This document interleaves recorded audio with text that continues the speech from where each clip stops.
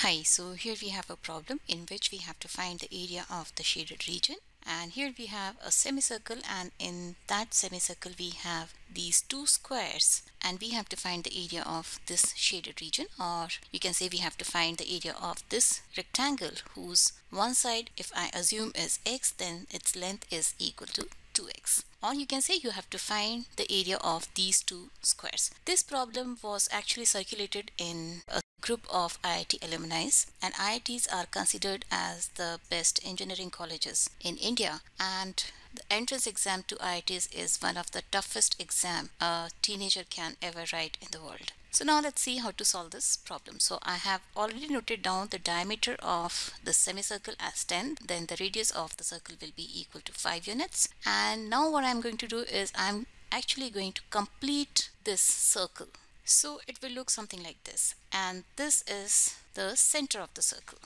So now I have named few points. This center I have named as O and then I have named these points as A, B, C, D and E. AB over here is a chord and if I draw a perpendicular from point O till AB and call this point as F then this OF will be perpendicular to AB and this point F will actually be a midpoint of AB and this OF will also be perpendicular on DE because DE and AB are parallel. Or you can say if I complete this chord in this direction and call this point as point G this point if I call it as f dash, f dash will be the midpoint of DG or GE will be equal to the one side of this square. Or you can say you can actually draw one more square like this which will be congruent to this older square and here this diagonal AD which is also the chord of the circle will actually subtend an angle equal to 45 degrees at the circumference of the circle. So here this chord AD which is the diagonal of this rectangle ACDE is actually subtending an angle equal to 45 degrees at the circumference of the circle and this will be 45 degrees because the diagonal of the square makes an angle equal to 45 degrees with its sides. So since this is 45 degrees this chord AD will actually subtend an angle equal to 90 degrees at the center of the circle.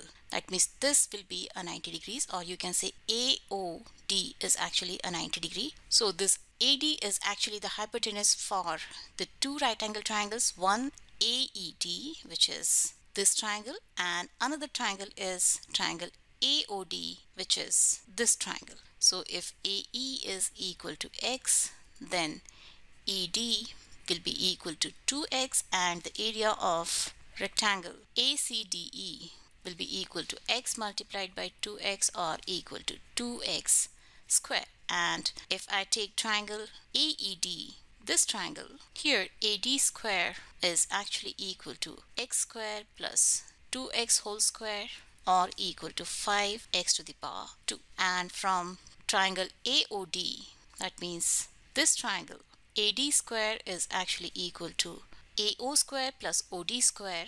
And both AO and OD are the radii of the circle so this will be equal to 5 square plus 5 square are equal to 50. So 5x square is equal to 50 or x square is equal to 10. So 2 times x square will be equal to 10 multiplied by 2 or 20 square units. So this is the area of this rectangle. So this is one way of solving the problem and there is one more way of solving the problem and that solution was actually circulating in the group. So now let's try and solve using that method also. So this drawing we got by using the symmetry of the circle across this diameter and similarly if I use the symmetry across this diameter of the circle I will get this drawing and similarly the symmetry will follow across this diagonal also and then we will get a complete square which will look something like where this is the diameter of the circle so this length is equal to 10 units and now again here we have a right angle triangle. And if I name it as A, B and C, AB square is equal to x square plus 3x whole square where x is the length of each side of this square. And since AB is the diameter of the circle AB square will be square of 10 and this is equal to x squared plus 9x squared or you can say 100 is equal to 10 times x squared or x squared is equal to 10 so the area of each square is actually equal to 10 square units. So the area of two such squares will be equal to 10 plus 10 or 20 square units and this was the solution which was getting circulated in the group so I have shared both the solutions with you. So that's all for this video and for many many more interesting videos keep watching Math Smart, subscribe to it and don't forget to press the notification bell because then only you'll get to know about my new upcoming videos. So bye bye till then.